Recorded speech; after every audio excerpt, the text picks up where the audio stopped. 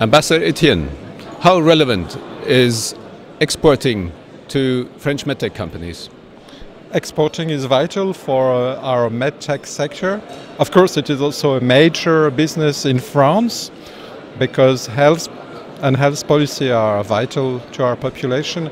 But uh, the medtech sector in France is also a, very vibrant sector with uh, high, the highest technologies, with many um, small uh, but very, very interesting companies, which, uh, as I realized visiting Medica and the French stands in Medica this afternoon, are really in very specific techniques world leaders.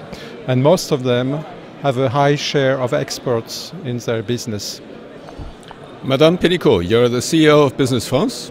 What do you do to support exporting with regard to the French companies?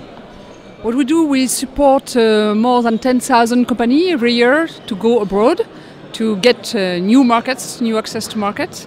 And in the case of Medica, it's quite obvious. It's a number one uh, fair in the world on the medical sector.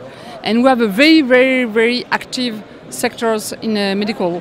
It's true for medtech, but also the whole medical sector in general, which is the third sector for exportation of France.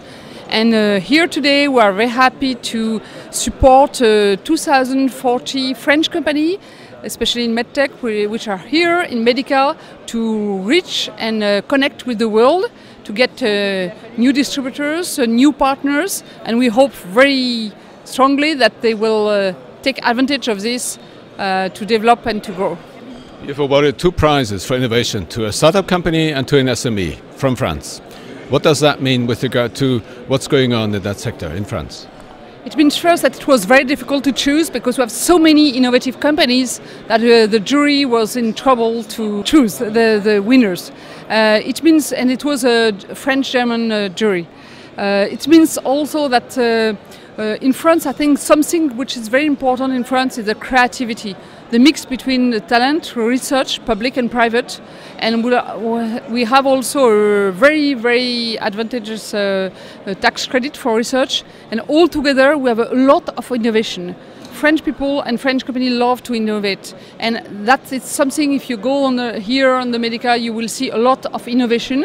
They can be niche, they can be brand board, but in all cases, there are a lot, a lot of innovation here, and I think it's why many people from the world are looking at our startup, but also our uh, mature company, which innovates, and they, they are happy to be here in Medica to show their innovations.